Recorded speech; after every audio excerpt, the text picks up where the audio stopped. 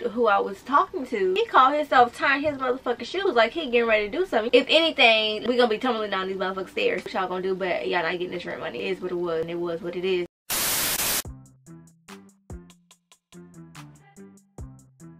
Thank you so much for watching Miss Angelique TV where we talk about everything and when I mean everything. I mean like as you can see by the title. This happened a long time ago so let's just get that out the way. A bitch let a subscriber move in or I moved in with a subscriber. We moved in together. Yeah we're gonna get to it. But before we do go ahead and hit the subscribe button down below if you're new to my channel because you don't want to miss the next couple of story times I have coming up next. Um, you just don't want to miss it. And also I have like a lot of other tea like in the back that you may not have seen. So after this video go ahead and check out my other videos. But overall just go ahead and subscribe because if you're not subscribed then like what the fuck are you doing? Like come on now go ahead and subscribe button so i'll wait. Go, go down. Or if, if, you're on your phone like you can like scroll up or scroll to the side and then hit the subscribe button. I'm just go ahead and st jump straight in the video. If you are like one of my old old subscribers like my day one like type shit since I was a teenager type subscriber. Like you might know what I'm talking about but if you don't know you finna figure out. So pretty much in 2000 in 2011 I had a whole nother channel. Like Miss Angelique TV did not exist. It was Miss Angelique 2011 at that time. I did YouTube. I was 16 got pregnant as y'all know at 15 and I gave birth at 16 whenever I got pregnant I like started watching other people's videos because I it took me a while to tell my mom. Like I didn't tell her I was pregnant until like three months um, so I was watching other people experiences like watching their weekly vlogs. Like back then on YouTube that shit used to be popping. Like the whole pregnancy vlog like literally the youtubers would every week sit down and talk about their symptoms of their pregnancy. So i started watching tiffany darling from the daily davidsons emerald rice or edie hill 1988 i think she was called back then. That really inspired me to fucking do youtube because i'm like damn i might as well go ahead and get, get on here and start talking about my experiences. Like on my phone. I think I had an iPhone back then, I'm pretty sure. So I was recording on my phone and uploading and stuff like that. But I did that for a while. And um, like I literally vlogged my entire pregnancy. Well, I didn't start doing them until I was probably like 20 weeks I believe um, because that's when my mama at that point she already knew I was pregnant so that's when I started doing the videos but I started watching them a long long time before that so I whenever I started doing my vlogs I would do them and I would really at that time I was interacting with every single subscriber and I still do like I'd be coming back to y'all stuff like that now. But back then like I was like really really into it to where like some of my subscribers follow me on Facebook or um, was my Facebook friend. Um, this leads me to one of my subscribers and I think I mentioned she was on one of my old story time a while ago. Um, and I think I named her Ashley in that story time so I'm gonna just name her Ashley in this story time just because that's what I think I named her before so Ashley, she was a subscriber, but she was actually my age as well. Um, our birthdays are a month apart. She was born in June. I was born in July.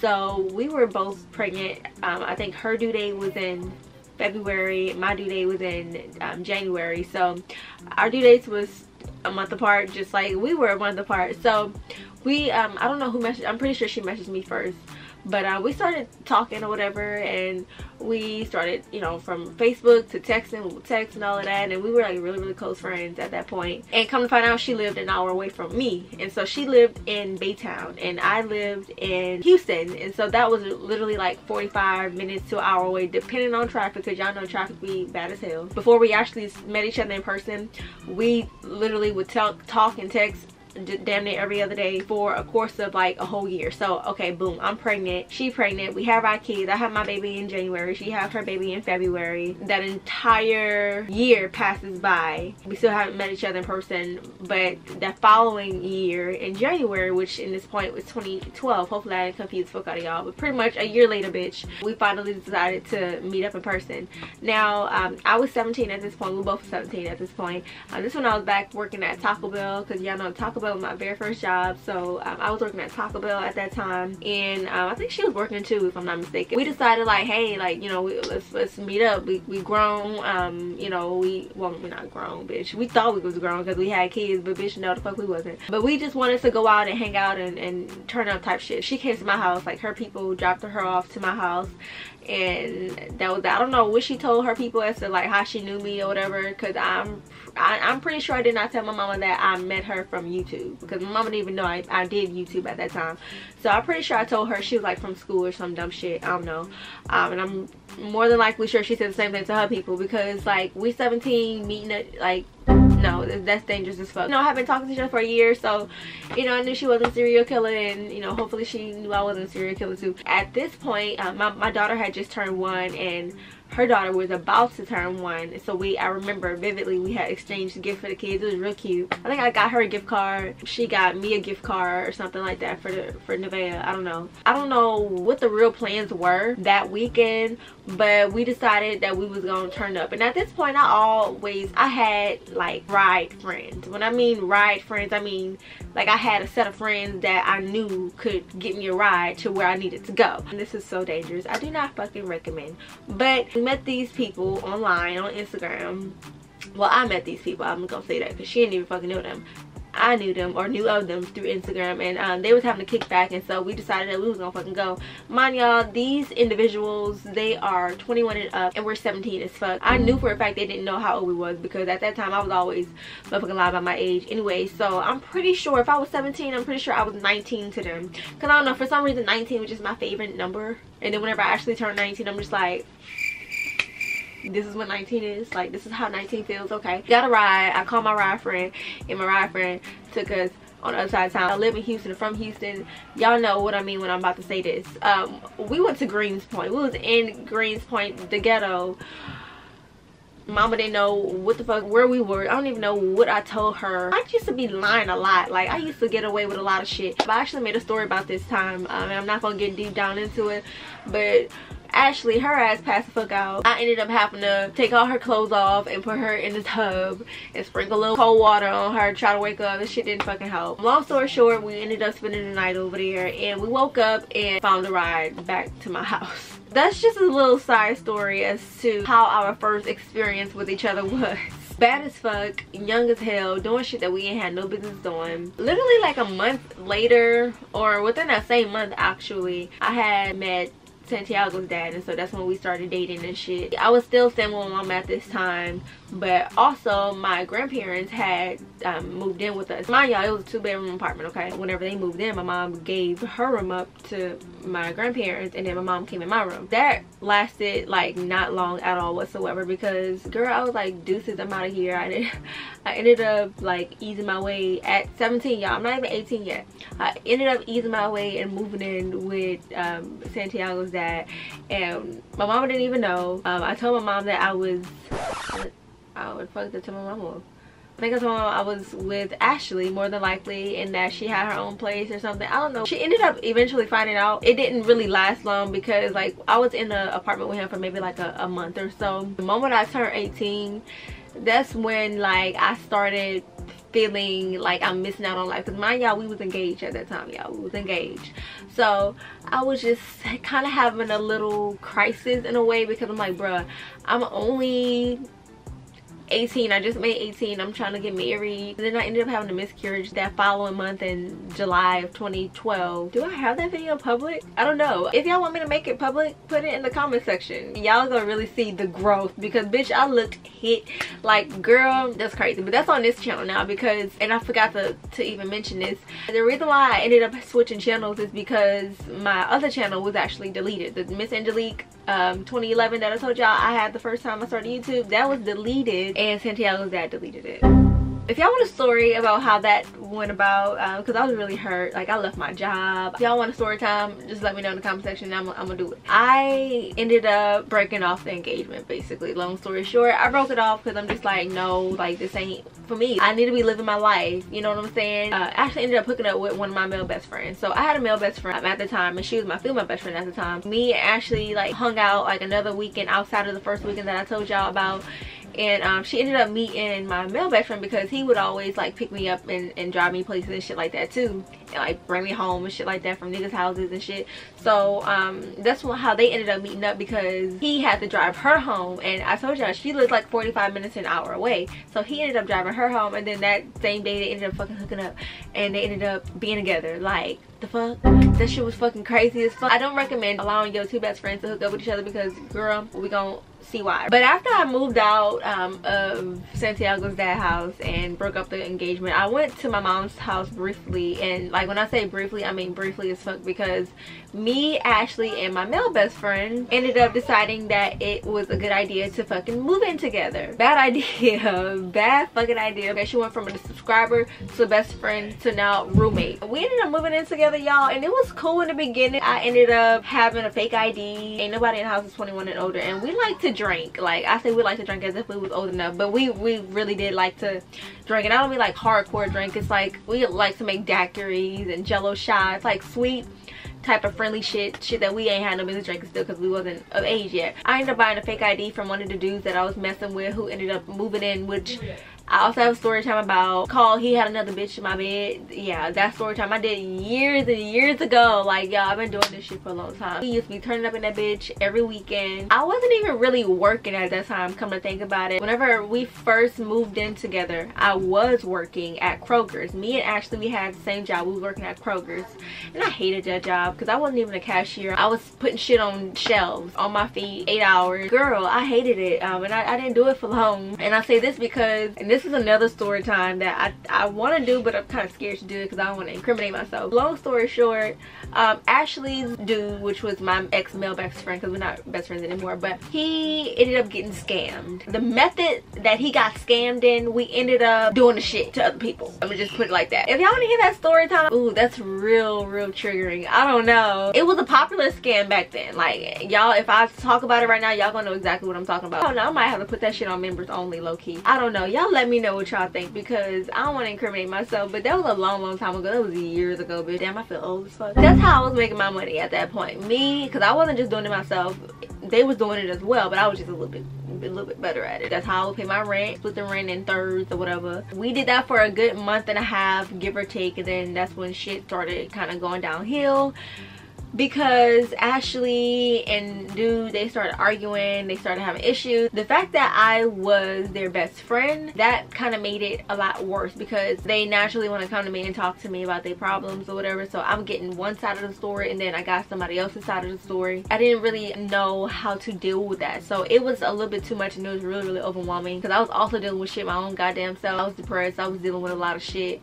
At that time I was fucking with a nigga who was fucking me over in the same household as me and we wasn't even together like how the fuck that work. Like oh lord i'm just glad i'm married now. Lesson learned don't let your, your best friends get together. It ain't gonna work don't do it. Learn from me. It ain't gonna fucking work. Couple of weeks went by and then i just started to get like in this super super dark spot in my life. I just felt like i wasn't doing anything which i really wasn't. I was over my roommates at this point because they were just having a lot of fucking problems. So mind y'all i told y'all i broke off the engagement with santiago's dad prior to me moving in this apartment right? One day i was just on twitter just you know browsing because at this time i was really really on twitter like hard and motherfucker. For whatever reason i ended up on his page. I don't know what he tweeted but he tweeted something something. I think I, am I'm, I'm more than sure I followed him and he followed me back. Because that would have been the only reason he would have seen my sub tweets. Because I started sub tweeting him. I don't know what the fuck the sub tweets was. But it got from, it went from sub tweeting to texting. And it went from texting to me just basically expressing to him that I don't want to be there no more. Not my life. I did the whole thing you know um it wasn't for me. And even though i still knew in my mind i didn't want to like get married or anything i just knew for a fact i did not want to be in that environment at least. Because i wasn't really getting along with my roommates anymore. The dude that i was chilling with he was fucking me over. So i was just over everything. Next thing you know one day everybody was gone. It was just me at the house. He came and picked me up. I got all of my things. I didn't tell nobody i was leaving. I left the bed there because i didn't give a fuck about the bed because at this point a whole nother bitch had been in there like fuck that bed. All i need is my clothes my um, towels and that's it. Got my shit and put it in trash bags. He helped me. Well on my way down the stairs i got my little hello kitty key that i had made for the house. And i took that shit off my key ring and i dropped the bitch in a bush and called it a day and we drove off and went back to his house. And just to think that that was gonna be like the end of it all. Obviously that wasn't gonna be the end of it all because of course like i just up and left. Like rent was probably well rent was about to be due actually. Um, and i just left and i didn't it was a bad thing. Like i do not recommend like don't do this. Like i don't care what type of shit you got going on. If you living with somebody don't just up and leave you know because people could like sue you for that shit. I said fuck it i didn't give a fuck at that time. I say i'm packing my shit. I'm not in a good space. Like I was having suicidal thoughts and all this type of shit because of other deeper shit that I was dealing with. And I just wasn't, it wasn't right for me. The next day, I get a call from my mama and I'm just like, hey mom i already kind of knew what it was or what it was going to be about. I just didn't know like i just thought maybe like somebody uh, ashley or her dude probably called my mom or something like that and told her what was going on. That's the thing what i thought. But girl no they went to my mama house all three of them ashley her dude. And then the dude that i was sleeping with like all went to my house to ride on me pretty much so mind you i'm 18 you know we all 18 dude he was he was the oldest honestly so i don't even know why he was staying here. Because and he was staying there rent free but he was oldest out the bunch. They went to my house to just ride on me just to tell her about the scam and shit even though they was fucking doing the shit too like On now, did you tell her what she was doing? They just call themselves trying to just tell all my business. She said you don't want your mama to know. She called me and she was just like, is this true? I don't know what I said. I shut it down real quick and it was the end of that. And then I thought it was the end of that, but bitch it wasn't because the next morning, me and Santiago that we sleep and we just get a knock at the door early in the fucking morning and so he opened the door because it's his house you know what i'm saying and he don't know who the fuck it is so he opened the door long and behold it's all three of them motherfuckers they said it was gonna come me i guess. Pretty much they was talking shit because i'm i moved obviously and they didn't like the way that i did that. The guy best friend i, I haven't named him in my story time because it's, it's irrelevant but i probably should have named him. But the guy best friend was hyping ashley up to try to fight me. There's a whole stairs right behind the door like a long ass staircase. So if anything we gonna be tumbling down these motherfucking stairs. She just talking her shit i'm talking my shit and i'm basically telling them like i don't know what y'all gonna do but y'all not getting this rent money. It is what it was and it was what it is. Like basically it was like a college life but just without the college. After we exchanged words dude who i was talking to he called himself tying his motherfucking shoes. Like he getting ready to do something. You know like i don't know if y'all know but when a motherfucker arguing and the other motherfuckers start tying their shoes, like that's kind of like fighting actions in a way. But I was trying to understand like who he was gonna fight because I was the one who allowed you to stay there rent free. You're only tagging along with them because now they gonna be looking at you for my part of the rent. I was kind of confused. He didn't do anything. They walked down the long ass set of stairs and left, and that was the end of that. well, at least it was the end of that for two out of the three because years went by and I ended up finding out that Ashley and my ex-best friend they got married. Well he went to the military and they got married. And um, they was together. They had you know having two kids together. And what's crazy about it is we ended up getting pregnant again at the same time. Because my y'all when we met we was pregnant together. 16 and pregnant. We was both pregnant. And then after all of this shit happened you know um, we stopped talking. They continued their relationship and i continued my relationship. They i was pregnant with santiago the same time she was pregnant with her daughter for him. Um, and then a couple years and the reason why i know this is because like obviously we ended up um, befriending each other toward the end of it all again. We're like real cool now to this day which is so strange because like how all of that shit happened but it really wasn't her. It was more so him and when i mean him i mean the, the male best friend. So like i said don't that that is that don't mix. Don't allow your male best friend and your female best friend or whoever male female male male female female whoever bitch don't let them get in a relationship together because it's, it's, not gonna work out for you okay? You're gonna get the short end of the stick. My third pregnancy we ended up being pregnant at the same time again. And then the fourth time we ended up being pregnant at the same time again. So yeah it's just i don't know. I think it's just god's way of saying like y'all y'all meant to be friends. Like you know y'all went through it through some some tough shit but now y'all grown got kids you know what i'm saying? She got her own place. I got my own place. Every now and then we get together whenever we can because she still stay far far as fuck. She still live in Baytown but Baytown is not far. Past summer we all took the kids to SeaWorld. Everything is all good. I forgot about that situation in my life that happened because I don't look at her as a subscriber even though that's technically how we met. Like she was a fucking subscriber because had I not did YouTube we would have never met. Uh, I wonder if she would want to do a video at one point together. That is it y'all. Go ahead and hit the subscribe button because I know you see it. I also want to sway away from story times as well. Trying to do something different. I know y'all want to see vlogs. I find it hard to vlog though. I find it hard to vlog whenever i do the same thing over and over. Other than that i'm gonna go ahead and hop off this camera so that i can get prepared to finish my day because i got some other shit going on. I'm gonna see y'all in my next video. Peace